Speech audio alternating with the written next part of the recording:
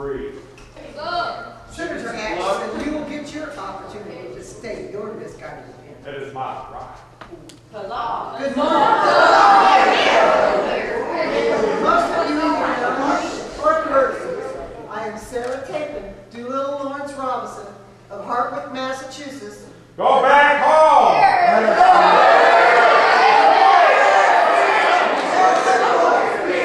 and the wife of Dr. Charles Robinson, and now of the Southern genteel manners. Most of you, like me, come here today with fear lurking in the back of your mind. For never before has there been an assembly of so many diverse political causes as this meeting today on our common faith to be decided by the Kansas-Nebraska Act. We are living on a virtual parity that threatens to explode unless we, each of us, don't maintain strict control over our temperaments, our actions, and our civil courtesies. We must not let that explosion happen, for we are all in this Kansas thing together. Pro-slavers, free staters, abolitionists, opportunists, pioneers, farmers, southerners, westerners, northerners, and New Englanders. We are all now neighbors and will continue to be neighbors long after the nature of Kansas statehood is decided by public vote. For common decency and indeed our own indi- individual survival, we must remain civil. For no matter the outcome of the question of slavery, we must make Kansas a prosperous and decent place to raise our families It will be. as we develop its abundant natural resources. Without slaves.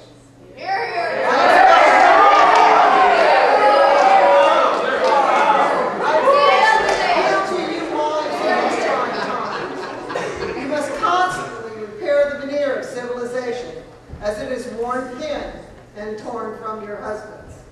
And to the men, I appeal you seek guidance from your mind and your heart, rather than react swiftly to raw emotions, with raw emotions to perceive the real injustice that's done to you. For you see, we must look forward to a day when we are all just simply Kansans, and no longer promoters of so many conflicting ideologies. Thank you.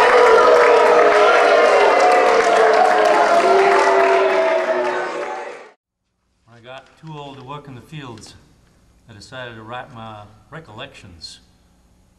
Remember where they came from. Remember who their ancestors were.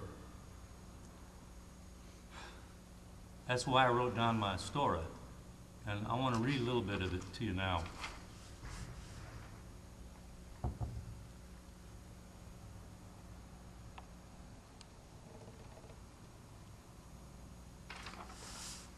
My name is Peter McCutcheon, though I never knowed it growing up in the Collins Plantation.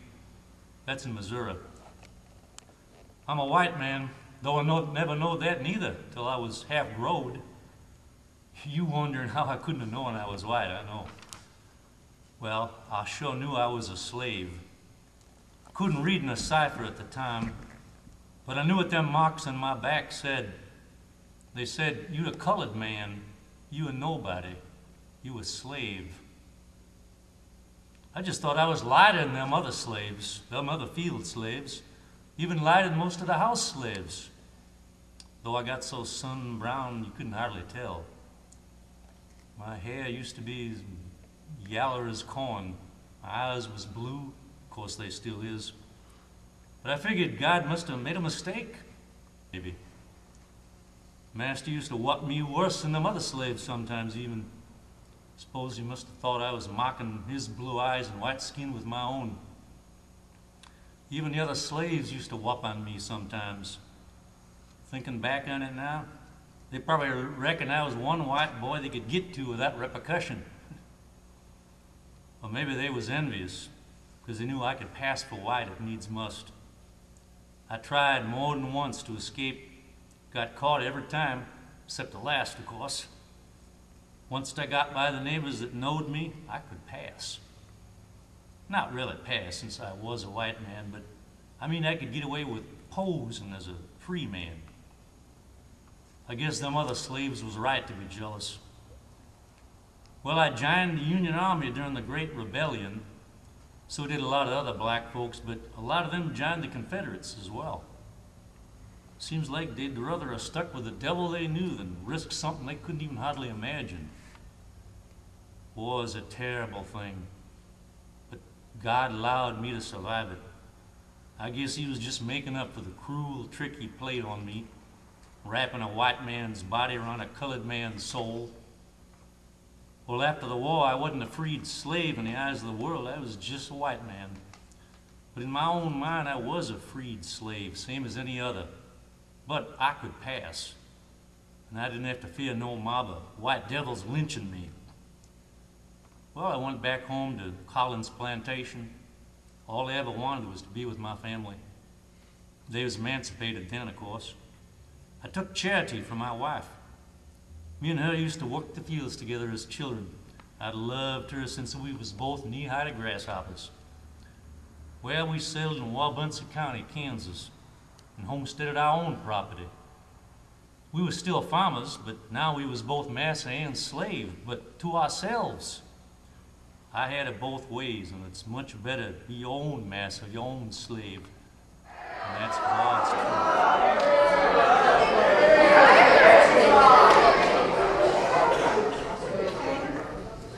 My name is Clarina I.H. Nichols, and I hail from Vermont, where I the Windham County Democrat, a newspaper in the area. I wish, first of all, to dispel some of the outright lies that have been told here this morning.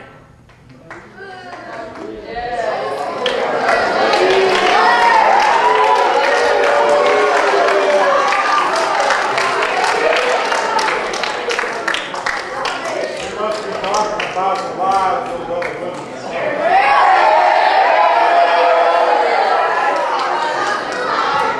The longer you are rowdy, the longer this will take. So, since some of you are cast of the sentiment that women have no place before you, it would behoove you to give me a moment. Now, about the business of women being of inferior intellect. Right. I want it to be known that when I lived in Vermont under my father's roof, I went to the finest of private schools. I myself attended seminary, ran a women's seminary, and I am well educated and I can write beyond my own signature. I, I can do more than put an X to represent my name. Now, my purpose for being here is to take advantage of beautiful Kansas territory. You're here. This is an opportunity.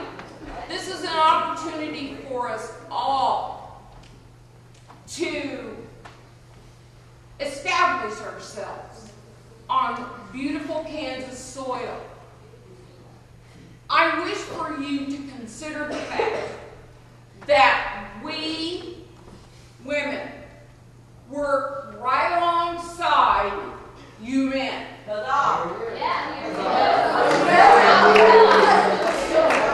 We raise, we raise your children, we tend your gardens, we do what needs to be done to maintain a lifestyle. Now, my heart says to me, women need to be heard. Hear, hear. When